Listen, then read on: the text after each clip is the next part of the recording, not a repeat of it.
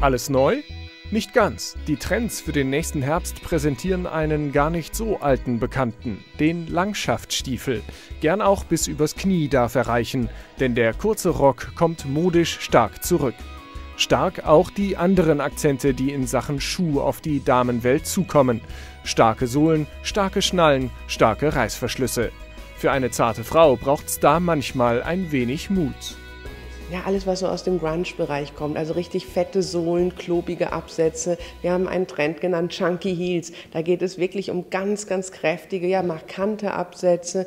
Das finde ich ist schon sehr mutig, weil diese klobigen Absätze teilweise auch mit durchaus femininen Leisten, also spitzen Leisten kombiniert werden. Finde ich klasse. Ähm, dazu vielleicht dann auch richtig derbe Sohlen, markante Sohlen mit Grip. Auch das bricht so einen, ja, ich sag mal, eleganten Schuh auf und sorgt für spannende Momente in der Mode. Farblich ist das Klassische zurück. Mit Schwarz macht Frau nichts falsch. Das ist nicht neu? Doch, dank neuer Materialkombinationen. Schwarz also unbedingt in die drei Must-Haves im Schuhschrank aufnehmen. Und dann geht im nächsten Winter auch nichts ohne Zipper. Wir hatten ja jetzt lange die Nieten.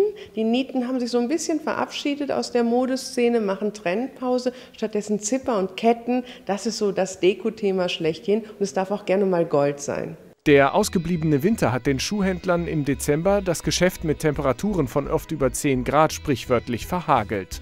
Dennoch sind die Läger leer, gut für die anstehende Schuhfachmesse GDS in Düsseldorf. Wir haben 800 Aussteller und nochmal 270 auf der Global Shoes, die erwarten sich von der Märzmesse viel. Insofern müssen wir da auch durchaus Kraft und Power in die Märzveranstaltung legen. Wir wollen, dass die gut wird. Wir wollen auch da Glamour schaffen. Ob Rock und Grunge oder dann doch edel und klassisch, langweilig wird's im nächsten Winter nicht am Fuß.